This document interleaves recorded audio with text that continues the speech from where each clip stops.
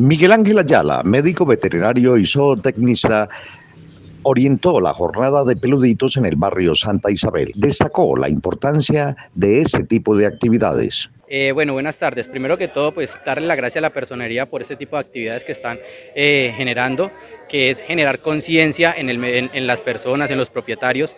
La importancia de, estos, de este tipo de actividades es porque buscamos la salud animal, ¿sí? no es solamente asistir a este tipo de jornadas, sino continuar con otro tipo de protocolos.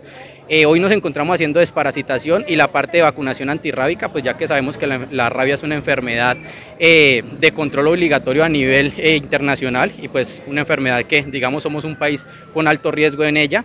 Entonces, esta es la importancia. No solamente es la vacunación que se hace hoy acá, sino que también hay otros protocolos que les decimos a los propietarios justamente hoy de que tenemos que continuar con otras enfermedades que son importantes como el esparvo, moquillo, hepatitis, lectospira, para influenza, que son planes de vacunaciones que se van llevando poco a poco a medida que el animalito va creciendo y que anualmente se deben de estar haciendo los refuerzos. Asimismo, el profesional se refirió a la importancia que tiene el proceso de desparasitación para las mascotas. A ver, eh, la desparasitación es importante, ¿por qué? Porque resulta que los animalitos siempre están constantemente eh, teniendo un contacto con otros perritos cuando los sacamos y ellos siempre van a estar expuestos a parásitos. Los parásitos tienen un ciclo de vida, por eso no es solamente hoy, no es solo cuando tenemos jornadas. Las desparasitaciones se deben de hacer de forma periódica, como mínimo cada tres meses, y lo ideal es que hagamos un refuerzo a los 15 días, que es lo que le decimos a los propietarios, porque muchas veces tenemos animalitos con una carga parasitaria muy alta que salen a la calle, a los parques, defecan, llega el otro animalito